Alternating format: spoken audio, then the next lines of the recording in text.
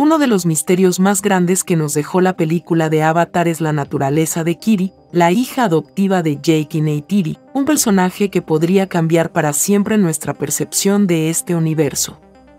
Kiri demostró que tenía una conexión especial con Pandora, que podría convertirla en un tipo de elegida, con el poder de controlar todos los elementos de este planeta. ¿Será que Kiri está destinada a convertirse en la salvadora de los Navi o será el resultado de un terrible experimento? ¿Qué pensarías si te dijera que realmente Kiri es más especial de lo que pensamos? ¿Será que ella es la elegida de Eiwa para terminar con la guerra? ¿Qué tal si la historia de Avatar podría estar apenas comenzando, y la primera parte solo fue la introducción a la verdadera historia? La historia de la unión entre humanos y los Navi. ¿Deseas saber a lo que me refiero? Pues no te despegues de este video. Y si te gusta todo lo relacionado al universo de Avatar, Marvel y DC, no olvides suscribirte a este canal. Esta es Eiwa. Bienvenidos a Oasis Geek. Primero, hablemos de la explicación que le da la película a este personaje. De acuerdo a la historia, Kiri es la hija biológica de la doctora Grace. Luego de que esta científica perdiera la vida, su avatar quedó en coma pero estaba embarazada. Gracias a que su avatar estaba seguro, pudo continuar y completar su embarazo. Aquí comienza el misterio sobre el origen de Kiri. Esta podría ser de origen natural, de un origen científico o incluso místico. Kiri tiene rasgos de humana pues su madre era una humana, y sus avatares son un poco distintos a los Navi originales, lo cual causó que durante su crecimiento, Kiri sintiera el rechazo de su propia sociedad. Desde muy pequeña, Kiri demostró grandes destrezas logrando domar un banshee a muy temprana edad, solo ofreciéndole ser su amiga. Es como si toda la naturaleza de Pandora la respetara.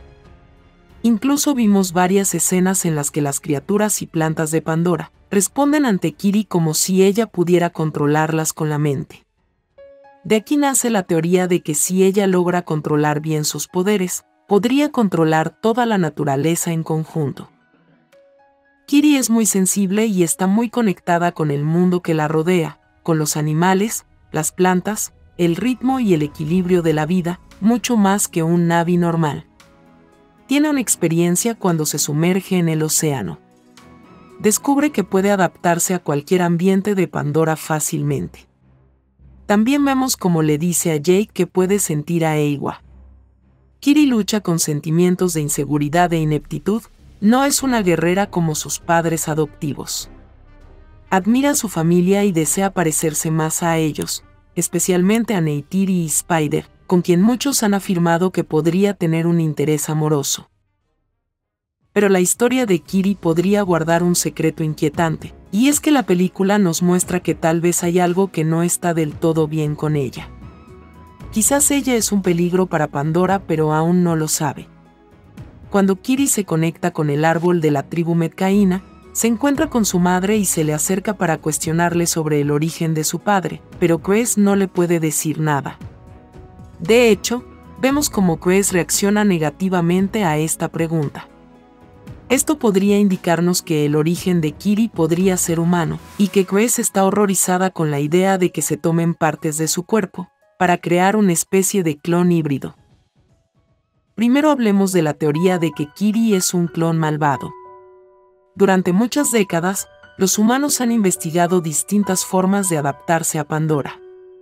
Los avatares fue la manera más ideal, pues podían interactuar con el planeta en su totalidad. Cuando los humanos llegaron a Avatar descubrieron que este planeta era tóxico y que no podrían sobrevivir en él si no se adaptaban al ambiente.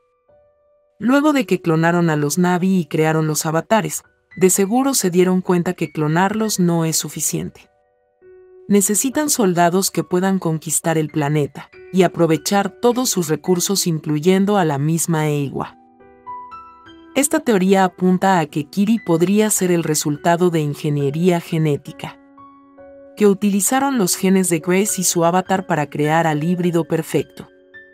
Un híbrido que tiene poderes porque así fue diseñado. En esta teoría, Kiri sería la primera de muchas, y otros avatares podrían tener los mismos poderes que ella. Aunque también existe otra posibilidad. La respuesta a la pregunta de qué es realmente Kiri podría encontrarse en una de las preguntas que nos dejó la película.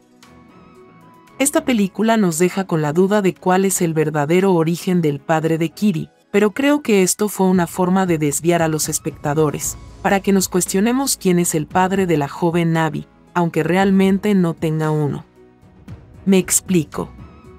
Hay un elemento que aún no había surgido en las películas de Avatar, y este es el camino del héroe. Personajes como Anakin Skywalker en Star Wars o Neo en Matrix son personajes que representan al arquetipo del elegido, esa figura mesiánica que llega al mundo, y Kiri llega como respuesta a esto. Tal vez la respuesta se encuentre entre un posible hijo entre Kiri y Spider. Un humano con una Navi híbrida podría dar lugar a una especie única de humanos y navis, que pudieran existir en Pandora sin necesitar adaptarse a ese ambiente y vivir en paz. Aunque claro, esto tal vez ocurriría al final de la historia. Creo que las próximas películas de Avatar irán mostrando cada vez más la importancia de Kiri y su papel como elegida de Eiwa. Por lo cual, espero que en las próximas entregas, Kiri se convierta en protagonista ayudando a Jake y a Neytiri. La última teoría y la menos probable en mi opinión, es que Kiri realmente sea la hija del compañero de trabajo de Grace, y que no exista un misterio con su existencia, sino que como es la primera Navi nacida de híbridos, puede tener más habilidades que los Navi convencionales. Pero cuéntame, ¿qué piensas de esta teoría? ¿Será que Kiri realmente es la elegida? ¿Será la encarnación de Eiwa? Y para más videos de tus series y películas favoritas, no olvides suscribirte a este canal. Este es Eiwa, para Oasis Geek.